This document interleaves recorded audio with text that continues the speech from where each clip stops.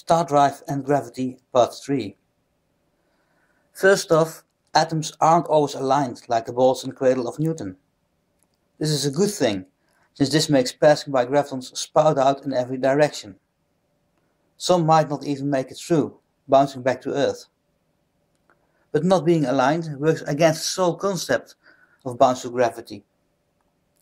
Within a cloud of matter, bad alignment of the gravitons would create chaos, more likely resulting in repulsion.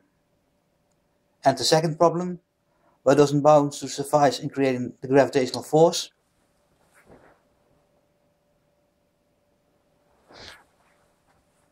Compare a vertical object to a horizontal object.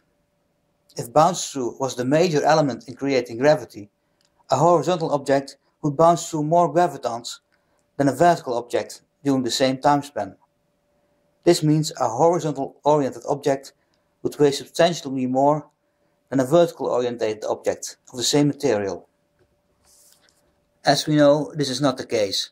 Hence, bounce through is great for moving a graviton to the opposite side but it has to be supplemented with a secondary mechanism to accelerate the graviton in, out into open space. Also, objects having weight pick up momentum, kinetic energy. Stop motion movement doesn't suffice.